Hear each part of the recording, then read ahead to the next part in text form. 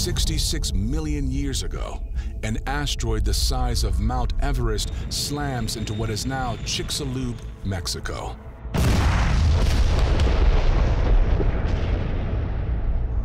If you had been in the southern parts of North America 66 million years ago, you likely would have been blinded by a brilliant glowing light. Then deafened by an incredible blast. And then hit by hot material falling from the sky. And potentially hit by incredible tsunamis traveling across the Gulf of Mexico. The asteroid creates the Chicxulub crater in the Yucatan Peninsula in modern-day Mexico. It covers almost 10,000 square miles and is 12 miles deep. The dust and debris spewed into the atmosphere block sunlight for years, condemning the dinosaurs to extinction. This was a bad day in the history of the Earth. The demise of the great reptiles, the dinosaurs, and more than 75% of everything else that was living on our planet. While the Chicxulub crater lies beneath the sea in Mexico, this body of water 3,500 miles to the northwest hides other secrets. Crater Lake is located in the state of Oregon in the heart of the Cascades. It's about 22 square miles on the surface. The widest part is about six miles across. One of the things that makes Crater Lake world-renowned is its remarkable color and clarity.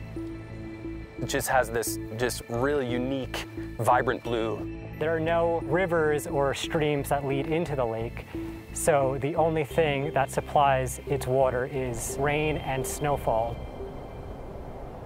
Crater Lake is one of the snowiest places in North America, and snow melt from the Cascade region provides water to four states.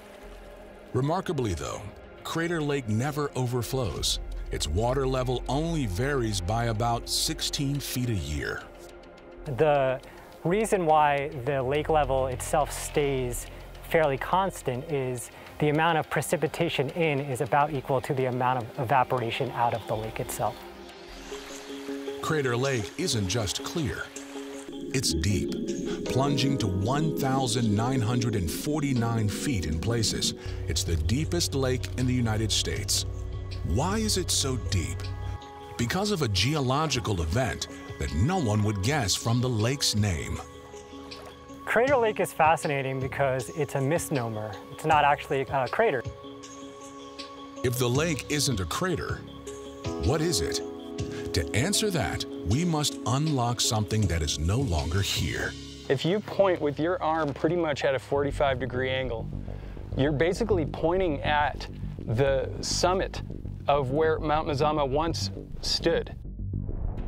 Mount Mazama, a stratovolcano more than 11,000 feet tall, starts to grow half a million years ago. The way a stratovolcano forms is uh, eruption after eruption builds layer upon layer upon layer. Then, some 7,700 years ago, a gargantuan magma chamber beneath it explodes through the mountain. Column of gas and volcanic rock is ejected high into the air. Hot ash flows down its flank. It is the greatest eruption in a million years.